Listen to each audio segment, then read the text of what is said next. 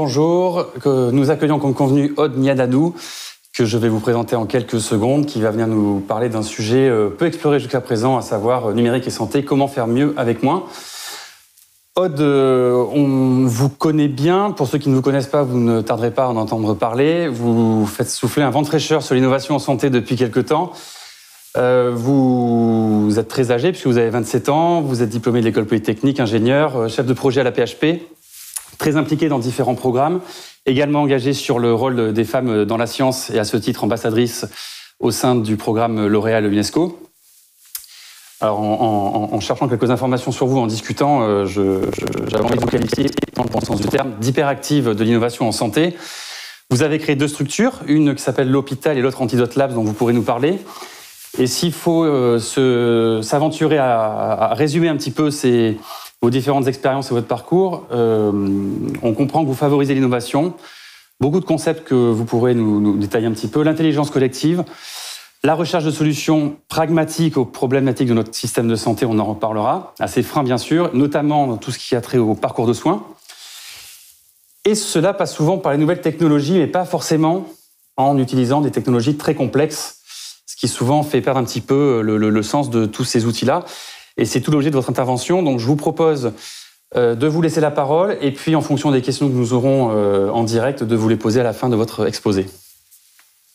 Merci beaucoup. C'est exactement ça. Un détail près qui est que j'ai été chef de projet innovation à la PHP pendant un an et demi, mais euh, j'ai quitté la PHP il y a environ un mois pour me consacrer pleinement à mes activités personnelles, justement l'hôpital et Antidote Labs.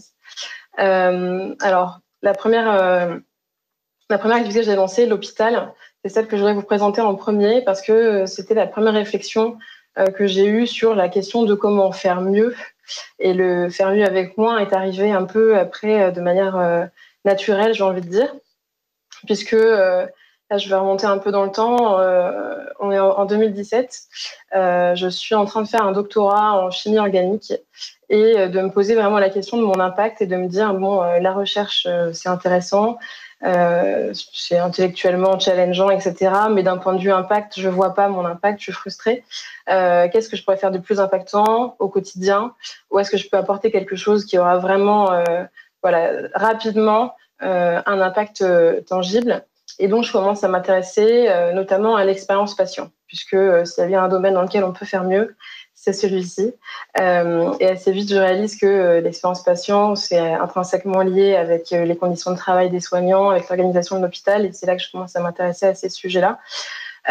pour vous raconter un peu ce que c'est l'hôpital, c'est une jeune diplômée qui se pose la question de qu'est-ce qu'elle peut apporter dans ce milieu. Et assez vite, je me rends compte que si je veux apporter quoi que ce soit, il faut que je sache à qui je m'adresse et ces personnes, je veux que je comprenne de quoi elles ont besoin. Et pour ça, il faut que j'aille à leur rencontre. Et donc, il faut absolument que j'aille passer du temps dans les hôpitaux euh, pour vraiment réaliser quels sont les problèmes que, vivent les gens au quotidien, que vivent les patients, que vivent les soignants, que vivent aussi les aidants familiaux. C'est quand même des acteurs importants aussi. Euh, et puis, je me rends compte aussi que je suis pas la seule à me poser cette question, à me dire, OK, j'ai des compétences euh, techniques, j'ai envie de travailler dans la santé, mais où est-ce que je sais me rendre utile? Ça, c'est pas évident. Et donc, en fait, finalement, je crée un premier événement que j'ai appelé un créaton. Et je vous dirai pourquoi euh, j'ai appelé ça un créaton et pas un hackathon. Euh, où je me dis, OK, avant de, de, réfléchir à des solutions, il faut qu'on aille sur le terrain. Et puis ensuite, pour réfléchir, on réfléchit quand même généralement mieux à plusieurs, surtout quand on a des compétences qui sont complémentaires. Et donc, le concept des startup week-ends, des, hackathons me plaisait beaucoup dans l'idée de se rassembler pour réfléchir ensemble. Et donc, j'ai créé cet événement en, en deux phases. Une première phase d'immersion où on prend donc des citoyens, des personnes, euh, j'ai envie de dire lambda, des gens euh, euh, qui ont des, métiers, des parcours hyper diversifiés, et on leur propose de passer trois jours d'affilée dans un service hospitalier ou dans un établissement de soins, ça peut aussi être en EHPAD, et de, de, noter ce qu'ils voient. Donc ça s'appelle des, rapports d'étonnement. On demande vraiment, avec votre regard totalement extérieur, qu'est-ce que vous voyez, qu'est-ce qui dysfonctionne à votre avis, qu'est-ce qu'on peut améliorer? Et ça, c'est extrêmement intéressant d'avoir le regard euh, de ce que moi j'appelle très affectueusement des ignorants, puisque je me considère aussi moi-même une ignorante à la base de ce milieu, d'avoir ce regard-là pour euh, repérer les problématiques et mieux les repérer, parfois même, et souvent même, j'ai envie de dire, que les personnes qui, sont dans ce milieu au quotidien et qui, du coup, euh, finalement, bah, parfois ne voient plus un certain nombre de choses qui pourraient être améliorées parce que c'est rentré dans leurs habitudes. Après ces trois jours d'immersion, euh, on débrief, on définit des problématiques assez précises. On va dire, OK, pour telle cible, voilà le problème qu'on a, qu'on a repéré. Donc, je vais donner un exemple très, très concret. Euh, on a remarqué que en, diabétologie, il y avait énormément d'innovations qui sortaient sur euh, l'accompagnement du parcours patient, beaucoup d'applications, notamment sur smartphone. Mais euh, les personnes âgées, généralement, sont peu digitalisées. Et qu'est-ce qu'on fait pour les personnes âgées qui ont aussi besoin d'avoir un suivi euh, et d'avoir un soutien dans leur parcours de soins en diabéto? Euh, voilà, qu'est-ce qu'on peut proposer? Ça, c'est un exemple de problématique. Et puis ensuite, pendant le week-end, on fait des équipes.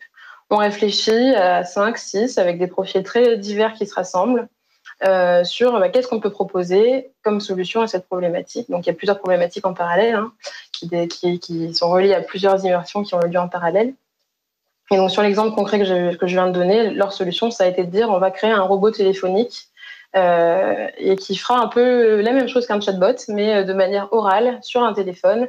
Et donc même ma grand-mère qui n'a pas de smartphone pourra l'utiliser avec son téléphone fixe. Voilà, ça c'est un exemple de ce qui a pu être fait pendant, pendant ces événements. Aujourd'hui, on en est à trois créatons, on en a fait euh, un par an sur des thématiques assez variées, ce qui correspond à environ 200 personnes qui, ont, qui ont été participants, on appelle ça des Lopiters. Euh, et également, évidemment, il y a aussi tout un réseau de mentors, de personnes expertes qui vont venir apporter euh, leur expérience euh, en santé, leur, leur, connaissance du milieu et guider les participants, répondre à leurs questions, challenger leurs projets pour avoir des choses qui sont les plus pertinentes possibles à la fin. Et, euh, à la fin, donc, pitcher devant un jury pour, partager ces initiatives. Je vous disais tout à l'heure, il y avait cette notion de comment faire mieux et aussi cette notion de comment faire avec moins. Parce que sur ces questions d'expérience patient en particulier, euh, Aujourd'hui, on n'a pas forcément euh, dans, nos hôpitaux énormément de moyens euh, financiers à dépenser là-dessus.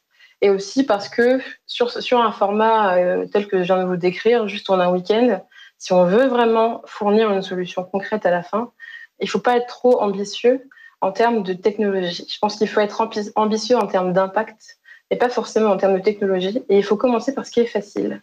Et donc parfois, la solution, elle n'a pas besoin de technologie. Et parfois, elle a besoin de très peu de technologie. Parfois, elle peut s'appuyer aussi sur des outils qui existent déjà, à condition qu'ils soient bien compris et employés d'une manière pertinente. Et tout à l'heure, je vous donnerai un exemple très concret euh, d'un projet que j'ai mené aussi en utilisant justement des outils existants. Euh, en travaillant sur ces sujets de l'hôpital, donc du coup, j'ai travaillé en partenariat avec beaucoup d'acteurs, notamment des acteurs de l'industrie pharmaceutique euh, qui étaient partenaires de ce type d'événement, euh, des acteurs aussi de, de MedTech, des hôpitaux. Et donc, en fait, finalement, on a commencé à théoriser un peu cette démarche. Et à vrai dire, très honnêtement, je n'ai rien inventé puisque la démarche qu'on a adoptée, finalement, c'est une déclinaison du design thinking.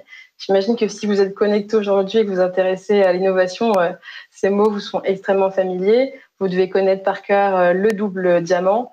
Euh, une première partie qui est vraiment une question d'exploration, d'aller à la rencontre des utilisateurs, de comprendre leurs besoins, qui se termine par la définition de problématiques très claires.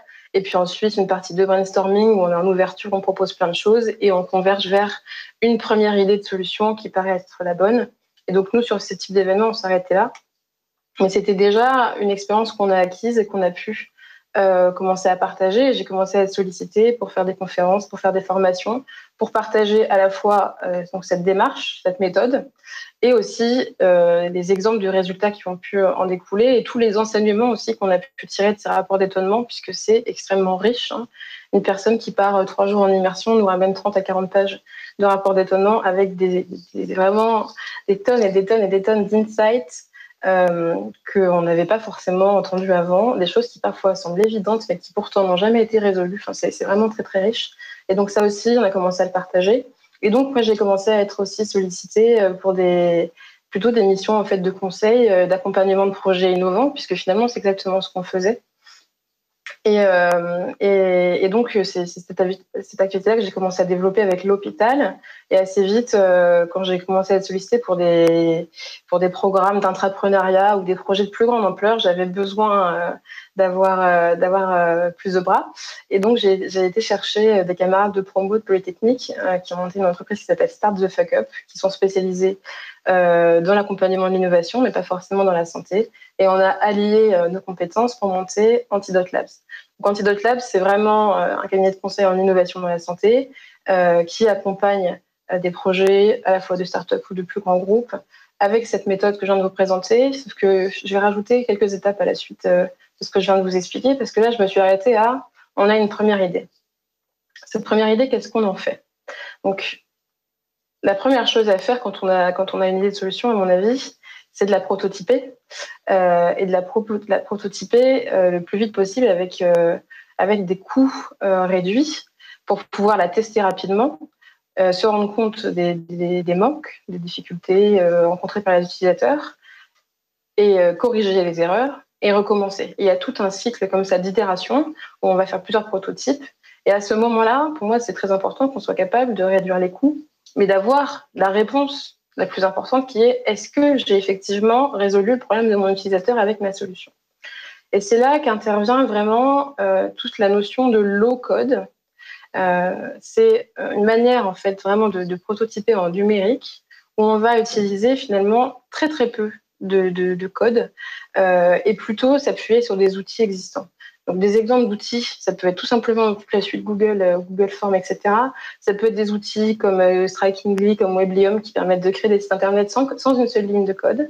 Ça peut être des outils comme Good Barber, par exemple. Moi, j'ai utilisé ça une fois pour créer une application.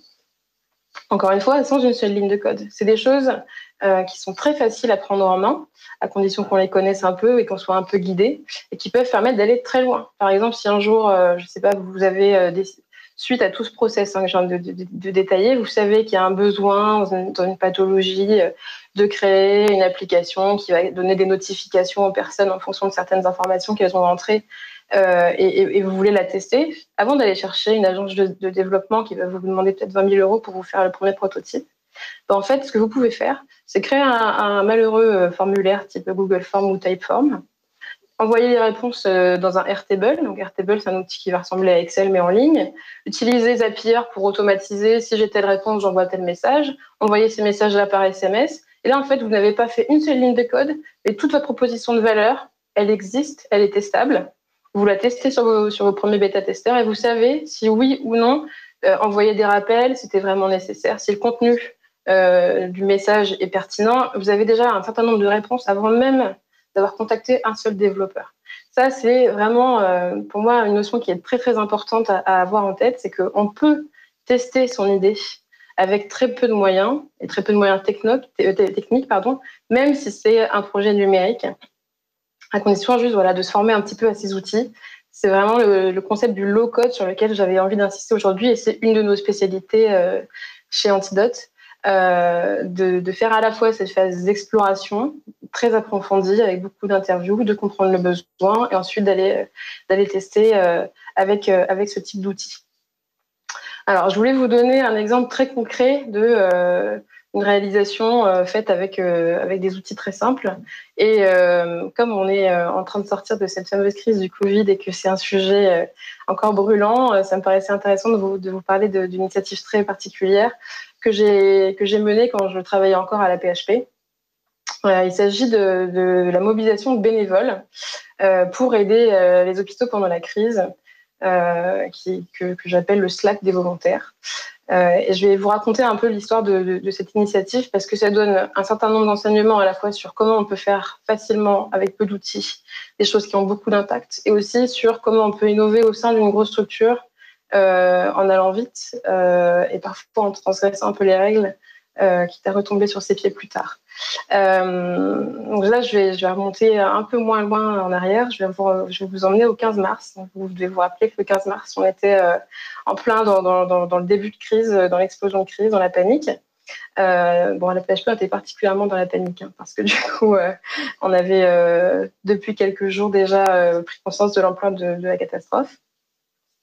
Et donc moi, je travaillais à ce moment-là en, tant que chef de projet innovation au siège de la PHP. C'était un, job que je faisais à temps partiel tout en continuant mes activités à côté.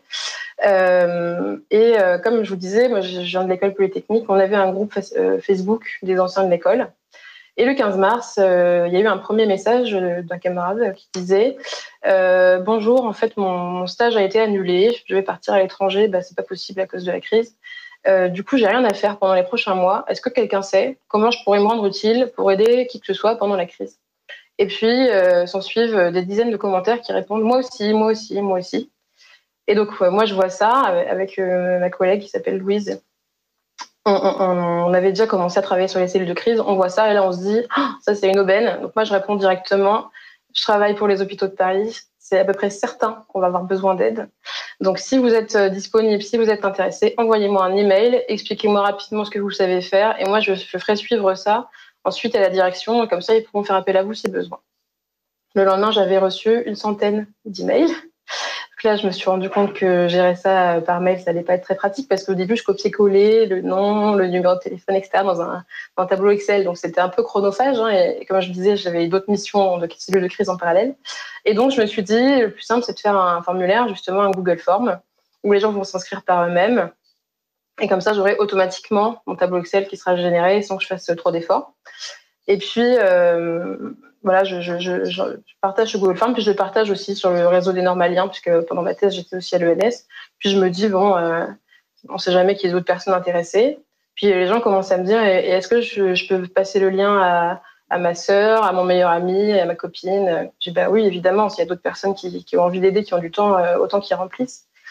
Au bout d'une semaine, j'avais euh, 11 000 personnes qui étaient écrites sur ce Google Form. Donc assez vite, euh, pour voir comment on allait organiser ça, euh, parce que juste transmettre un tableau Excel avec 11 000 euh, personnes dessus, c'était pas forcément la meilleure manière de gérer une communauté. On a utilisé l'outil Slack. Donc j'imagine que beaucoup parmi vous peuvent déjà connaître cet outil. Ça ressemble aussi à Teams, parce que je sais que beaucoup d'entreprises utilisent Teams. C'est vrai que c'est un, outil de, de, communication instantanée, une messagerie instantanée, euh, un peu comme WhatsApp. Mais ce qui est très pratique, c'est qu'on peut faire des conversations avec des canaux. Et donc nous, on a choisi cet outil en se disant, on va trier les bénévoles par compétences. Et donc on a créé des canaux euh, qui, qui, voilà, qui trient par type de compétences. Un canal audiovisuel, un canal data scientist, un canal logistique, etc., etc. Et on, a créé tout un, petit euh, mode d'emploi à destination des professionnels de la PHP euh, pour leur dire voilà, si vous avez un besoin, voilà comment faire pour euh, venir sur, sur l'outil Slack, poster votre besoin et les, les, bénévoles disponibles qui répondent à votre besoin vous répondront. Et en fait, finalement, c'est comme si on avait créé une plateforme de, de recrutement euh, instantané via un outil existant qui est Slack. Et en fait, en, améliorant au fur et à mesure la manière dont ça fonctionnait, notamment aussi parce qu'on a eu euh, l'aide de Slack France euh, qui nous a donné la gratuité sur la version payante, qui nous donnait beaucoup de conseils sur comment le gérer. On a réussi au fur et à mesure à avoir un, process qui était hyper efficace où euh, quand il y avait un besoin, euh, on, il y avait quelqu'un qui postait, euh, qui postait le message sous un certain format pour être sûr que ça soit très clair, les dates, les lieux, comment ça allait se passer des gens euh, répondaient en candidatant finalement juste par un message instantané. On faisait une présélection et euh, on les faisait venir ensuite euh, là où il y avait besoin, ou parfois c'était aussi à distance. Et donc il est arrivé qu'on poste une mission à 21h30, qu'on sélectionne les gens à minuit et qu'ils soient là le lendemain matin à 9h. Donc c'était extrêmement efficace aussi parce que voilà, dans ce contexte de, crise, les gens très très engagés, très très disponibles aussi hein, à cause du confinement et du chômage partiel, etc. Et donc ça, a, été, ça a été assez incroyable. Et ce que, ce que je veux souligner ici, première chose que je veux souligner, c'est que on peut gérer une communauté de 20 000 personnes et une plateforme de recrutement avec 20 000 personnes dessus sans faire une ligne de code. J'aurais pu me dire, je vais créer une nouvelle plateforme pour gérer tout ça. Non, en fait, on, a, on s'est dit, bah, il y a Slack qui existe, est-ce qu'on peut le détourner pour ça? Et en fait, ça suffisait largement. Et dans certain nombre de cas, en fait, parfois, l'outil existant est déjà suffisant. Il n'y a même pas besoin forcément de, recréer quelque chose. C'est juste une question vraiment de réflexion sur l'usage et aussi d'amélioration continue sur à chaque fois qu'il y a quelque chose qui dysfonctionne, hop, je modifie un peu mon process et j'arrive à avoir quelque chose qui, fonctionne.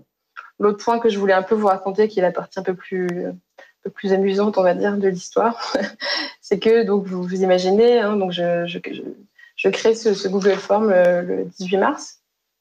Et donc, comme c'était un Google Form, ça pouvait pas forcément donner très confiance aux gens. je sais pas vous, moi, quand je vois un Google Form qui me demande mon nom, mon prénom, mon numéro de téléphone, je me méfie. Et donc, pour pas que les gens pensent que c'était du phishing ou que c'était une arnaque, j'avais bien mis mon nom et mon adresse mail @aphp pour que vraiment ça rassure et qu'ils voient que c'était euh, un vrai truc hein, et pas, une, plaisanterie.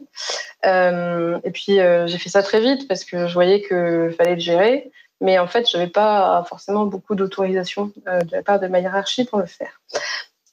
pareil pour la création du Slack, pareil pour la création des modes d'emploi. Assez vite, comme je voyais que les gens avaient un peu de mal à utiliser Slack, bah, j'ai demandé parmi les bénévoles qui étaient bons en audiovisuel euh, de créer une vidéo tutoriel qui explique comment utiliser l'outil et comment, comment demander de l'aide. Euh, entre deux, on a, on a contacté euh, la direction juridique en disant si on prend des bénévoles, peut-être qu'on ait un modèle de, convention pour encadrer tout ça. Donc pareil, on a fait ça super rapidement. À un moment, j'ai un peu paniqué quand même. J'ai dû appeler le, DPO pour savoir à quel point c'était grave que j'ai 11 000 données personnelles sur mon drive. Donc pareil, on a, corrigé au fur et à mesure. Et puis, euh, ce qui s'est passé de, vraiment incroyable, c'est que comme ça a vraiment fait beaucoup de buzz sur les réseaux sociaux, que ça a vraiment euh, tourné finalement. Euh, notamment, il y, a, un tweet à un moment qui, a eu 700 retweets ou quelque chose comme ça. Bah, en fait, la, communication, je la maîtrisais absolument pas, et la direction de la communication, on la maîtrisait encore moins puisque je ne l'avais pas mis dans la boucle assez tôt. et donc, on est arrivé quand même au summum de l'absurde quand, une semaine après la création du forum, enfin du, du, du, euh, j'ai reçu un message sur LinkedIn d'une personne qui me disait bonjour, euh, j'ai vu sur BFM TV que vous recherchiez des volontaires. Donc là, je dis pardon sur BFM TV, mais de quoi vous parlez enfin? Et, en fait, la personne m'envoie un lien euh, vers la retransmission vidéo du journal de BFM et on voit la présentatrice télé qui dit La PHP recherche actuellement des volontaires. si vous aussi vous êtes intéressé, allez sur Twitter et qui épelle mon nom pour dire allez sur Twitter pour candidater. Euh. Donc là, euh, à ce moment-là, moi, j'ai eu très très peur euh, d'avoir des gros problèmes. et, en effet, il y a un certain nombre de personnes qui n'étaient pas très très contentes, on va dire, puisque j'avais pas du tout suivi les process habituels. J'avais pas du tout demandé les, autorisations nécessaires. Il y avait peu de contrôle sur la situation, même si j'avais informé pas mal de personnes dans la direction de, l'initiative. Ils n'avaient pas pu suivre en direct tous les développements, etc. Euh, et donc finalement, tout est rentré dans l'ordre euh, au bout de dix jours parce que entre temps, euh, cette, communauté a eu beaucoup de beaucoup d'utilité. Notamment, on a créé toute une cellule de recrutement de soignants. Hein, parce que toute la communauté dont je vous parle, c'est une communauté de non-soignants. Hein. Je vais préciser que c'est des, volontaires qui n'avaient pas de compétences médicales. Tout le médical par un autre canal. Et en fait, on a pu créer une cellule de recrutement, de gestion en fait des recrutements pour accélérer un peu tout le recrutement des, renforts, où il y avait à peu près 120 personnes qui étaient que des volontaires qui venaient justement de, ce Slack. Et à ce moment-là, du coup, c'est arrivé jusqu'aux oreilles de, bah, Martin Hirsch, euh, qui a pris une demi-heure pour que je lui montre comment fonctionnait tout ça et qui m'a dit c'est super, euh, c'est super ce que vous avez fait, merci beaucoup. et en fait, c'est à ce moment-là que je suis retournée dans les rails. Voilà, toute cette histoire, je vous la raconte parce que je la trouve assez incroyable euh, sur euh, le côté mobilisation citoyenne et que c'est un sujet qui me tient à cœur. Mais aussi pour vous montrer, d'une part, que voilà, il y a des choses qu'on peut faire très vite avec peu d'outils, euh, mais qu'on peut améliorer au fur et à mesure. Et aussi pour vous partager euh, une de mes, de mes devises, en tout cas une, citation que, qui me tient beaucoup à cœur et que je trouve vraiment vraie, c'est qu'il n'y a pas d'innovation sans désobéissance. Alors après, il faut choisir à quel point vous désobéissez, hein, évidemment. Mais euh, pour peut-être au titre de cette conférence qui était euh, comment faire mieux euh, avec moins, comment faire mieux avec moins plus vite, passer aussi parfois en passant par des, chemins détournés. Et, si ce que vous avez imaginé a, été fait avec une intention très claire, avec une compréhension très forte du besoin et que vous avez la certitude que ça sera utile, ben vous arriverez à convaincre a posteriori que vous aviez raison, je pense. Et du coup, ma, deuxième devise, euh, qui est un peu une petite provocation, mais qui n'est pas si fausse que ça, je crois, c'est que parfois, il vaut me demander pardon que demander l'autorisation. Et ça, c'est souvent vrai dans les projets d'innovation. Voilà, merci beaucoup. En tout cas, si vous avez des projets d'innovation que vous voulez euh, faire euh, utile avant tout, faire mieux en répondant mieux à, des vrais besoins, faire preuve de pragmatisme dans votre réponse, apprendre à écouter vos utilisateurs et, à répondre avec des outils low code, n'hésitez pas à me contacter sur LinkedIn, par mail, euh, sur Antidote Labs. On sera ravis de vous aider. Et là, je suis disponible pour répondre à vos questions. Merci beaucoup. Juste rapidement, une ou deux questions, si vous pouvez nous répondre euh, de façon relativement succincte. Euh, en vous écoutant démystifier les nouvelles technologies et en vous concentrant sur le contenu et l'impact de vos actions, est-ce qu'on ne pourrait pas vous soupçonner d'être un petit peu critique envers tout ce qu'on appelle la deep tech aujourd'hui? Ah oui, alors c'est une question qu'on pose souvent. Euh, est-ce que moi je suis anti euh, deep tech? Alors non, absolument pas. Je pense que on, a des usages très très utiles et très importants de l'intelligence artificielle, de la blockchain, de ces types de technologies. Moi, tout ce que je dis, c'est que euh, on n'est pas obligé de sauter directement le pas vers de la deep tech. Il faut vraiment réfléchir à quel est l'objectif de, de l'innovation, à quel besoin on veut répondre, et pour moi, ça me paraît naturel et, du bon sens de d'abord répondre avec une solution simple si celle-ci est suffisante. Parce que aujourd'hui, ces sujets euh, d'amélioration euh, du, parcours patient sont urgents et que si on a une réponse euh, qui peut être plus pragmatique, qui peut, arriver jusqu'au patient plus vite et qui peut avoir le même impact, bah, pourquoi s'en priver? Très bien. Et deuxième question et dernière, j'imagine. Euh, si vous, aujourd'hui, de, nombreuses entreprises pharmaceutiques nous, écoutent, nous regardent, si vous aviez euh, un modeste conseil à donner à, ces salariés de grands groupes euh, tentés par l'entrepreneuriat, comme on dit aujourd'hui, quel serait-il? Faites-vous confiance.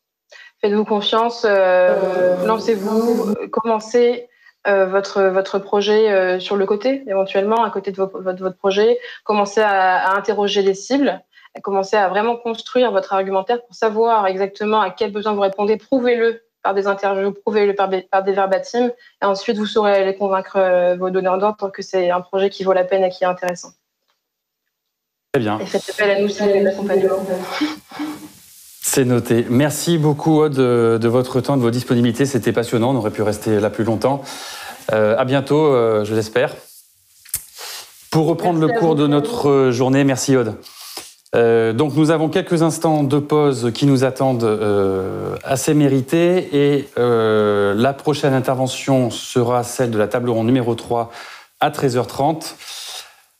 Elle sera animée par Franck Lemeur à propos du modèle relationnel dans l'industrie pharmaceutique. Donc je vous propose de faire une petite pause et de nous retrouver dans quelques instants. Merci.